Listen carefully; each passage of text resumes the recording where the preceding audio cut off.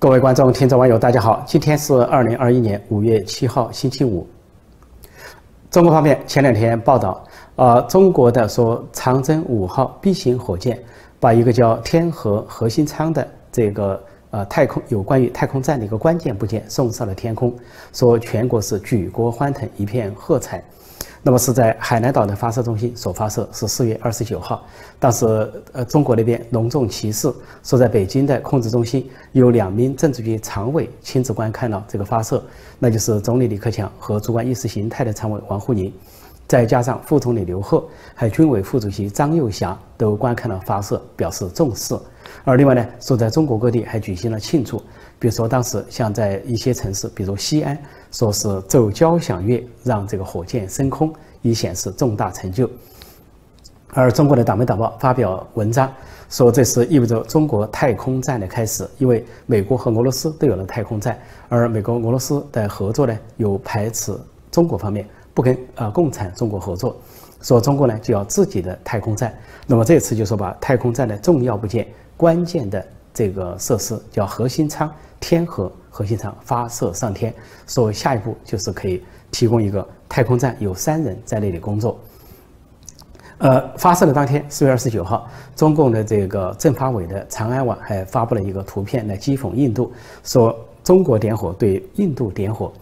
左边是中国的这个长征啊五号呃 B 火箭发射这个。天河核心舱上天，右边的是印度山，是因为大瘟疫啊，这个疫情深重而在烧尸体。那么这个对照，呃，不仅激起了印度的抗议，印印度政府向中国方面发出了抗议，而中国国内的网民都认为这是很不耻、很不人道、很下作、幸灾乐祸。后来，中国的这个长安网把这些东西取消了，把这个所谓中国点火对印度点火，中国发射火箭，印度焚烧尸体取消。而相应的其他一些丑化印度的事情都取消了，那么但是中共还没有笑完，就自己出了事情，因为这个长征呃五号呃 B 型把这个太太空舱发到天上之后，却发现出了问题，它有一个脱落体，一个关键的脱落主体没有脱落在预定的轨道或者按预定的这个时间地点脱落，却在低空的时候脱落了，脱落现在这个巨大的部分呢绕着地球在转。转呢，说是距地球两两到三百公里，那么这几天之内可能坠落地球，坠落地球之后可能造成伤亡。那么现在各国的科学家，包括美国、台湾各方面的科学家都在观察研究这个问题，追踪中共这个天体的降落下落。如果说撞在地球上，因为地球呢百分之七十一是海洋，也就是说百分之七十一的可能性，呃坠入海洋，那么对人体的伤亡就比较少。但是也有百分之二十九的可能啊撞上陆地，那就对会人员造成伤亡。实际上，中国的长征火箭多次出包，在二零一二年、二零一四年、二零二零年有两次，总共四次出包啊，分别是这些相关的一些脱落的部件没有按预定的设计脱落，而是超出预料啊，在有的在湖南境内，有的在贵州境内，有的在四川境内。分别坠落之后，造成了人员的伤亡和民房的受损，所以说这次长征火箭这个所谓长征五号火箭 B 型这次的这个巨大的这个一些舱体的降落啊，就有可能砸到住宅区，呃，给普通民众造成伤亡，而且不知道会落向哪个国家，也不知道会落向哪个地区。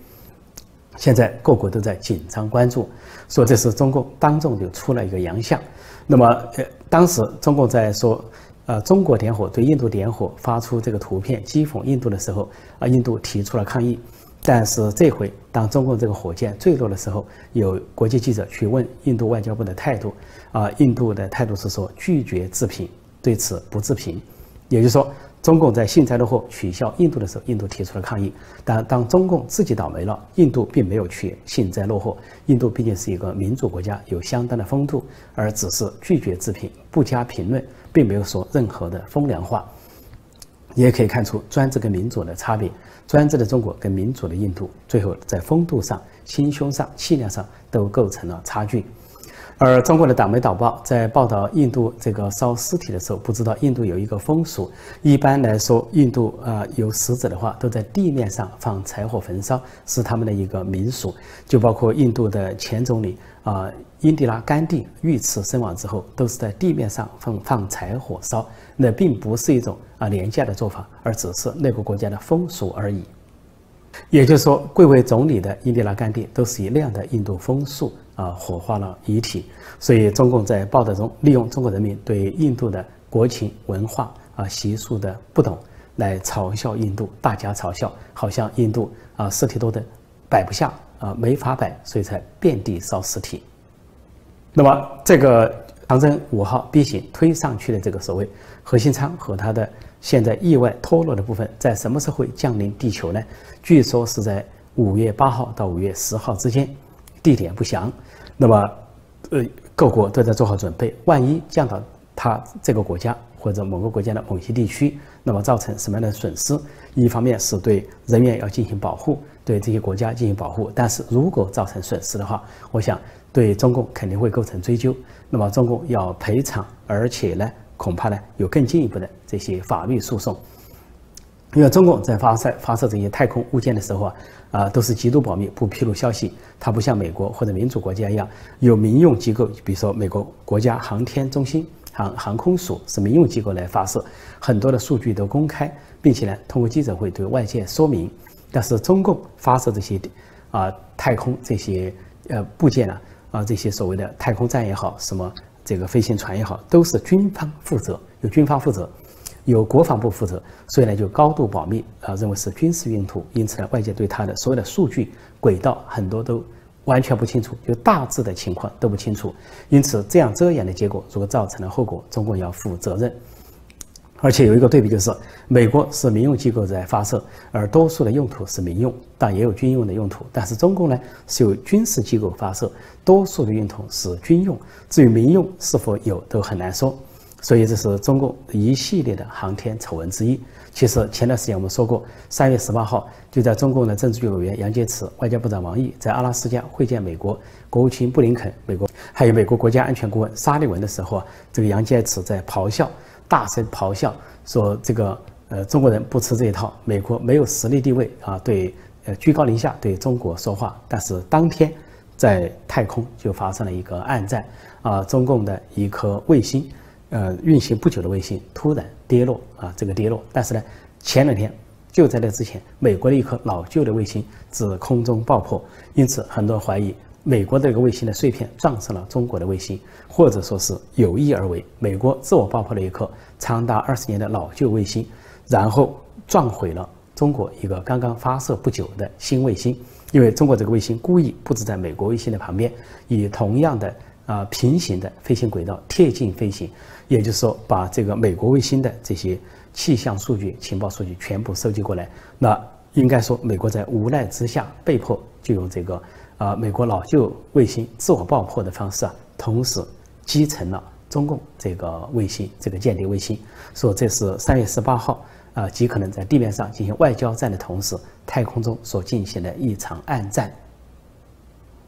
而这回就在中共的党媒党报连篇累赘啊，吹嘘中共的这个什么呃天河核心舱，或者说是。太太空站怎样的领先世界，取得重大成就的时候，就出了这么大的洋相，同时又是在讥笑印度点火对中国点火的时候，结果自己点了这么一场火，真的是熊熊大火，从天空到地面都是一场大火，一场灾难，在太空中的一场灾难，而且很有可能成为地球上的一场灾难，这是莫大的讽刺。世界卫生组织终于鉴定了中国疫苗。中国疫苗有两种，一种是国药，一种是科兴。啊，中国方面曾经抱怨说，国际卫生组织、世界卫生组织把它排在后面来鉴定，因为呃，由于信任度的问题，排在前面的都是美国、英国、德国的疫苗。那么，世界卫生组织在前两天终于鉴定出来，说中国的疫苗是对十八岁到五十九岁有保护力，但是对五十九岁以上的老人存疑。不，就是说不具有保护力，甚至暗示有危害性。这就是鉴定结果，这就可以解释为什么啊，中国那边在宣传中国疫苗的时候是跟其他国家相反，其他国家先打老年人，先打病患，他们呢先打十八岁到五十九岁的人，因为老年人以上呢没有这个把握，但实际上啊，五十九岁以上的老人才有危险性，才是高危人群。另外，也可以解释其他几个现象，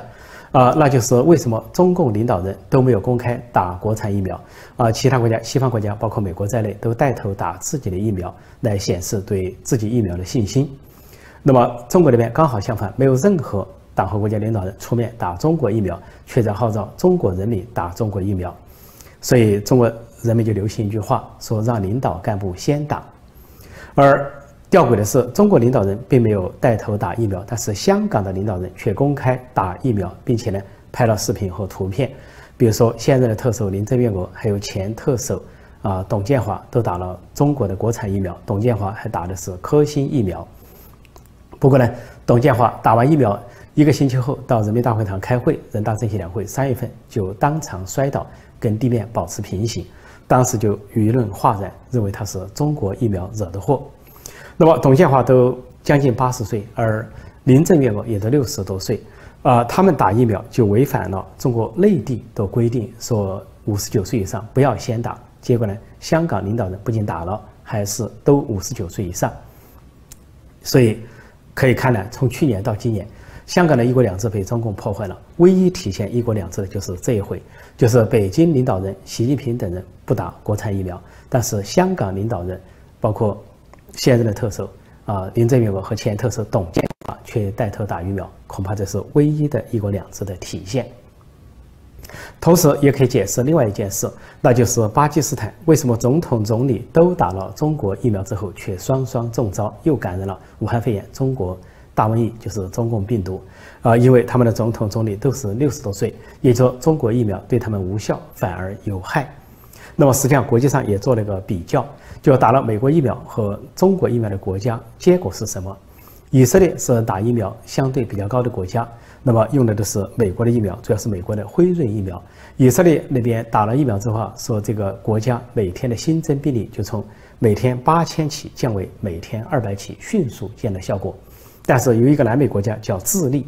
它是进口的中国疫苗，那么智利呢，已经有一半的国民打了疫苗，是中国疫苗。结果打完疫苗之后，跟踪智利的结果，原先呢，这个每天感染率啊是两千例，反而在打完中国疫苗之后，感染率达到每千七百例，这就是效果。所以有人说，对照智利和以色列的结果，对照中国疫苗和美国疫苗的效果，说这可不是愚人节的笑话。说到愚人节的笑话，这两天又有一个不是笑话的笑话出炉了，那就是有一个国际组织对很多国家进行了个民主指数认知的调查。这个组织呢叫呃国际民主联盟基金会，呃，它是一个民间机构，非政府组织。那么它委托德国的民间机构对五十三个国家的民众，总计五万三千多名民众进行了调查，调查一下对本本国民主的认知程度。结果发现，调查的五十三个国家中，那么，认为本国是民主国家的只有百分之五十三，而在西方国家，像美国、欧洲这些民主国家，认为本国是民主国家或者民主充分的只有百分之五十八。但是吊诡的是，在中国都知道是一党专政、一人独裁，但是在中国民众调查的结果说，认为中国是一个民主国家却高达百分之七十一，有七成中国民众认定现在的中国已经是一个民主国家，有足够的民主。所以这个调查。结果出来之后，让大家哭笑不得，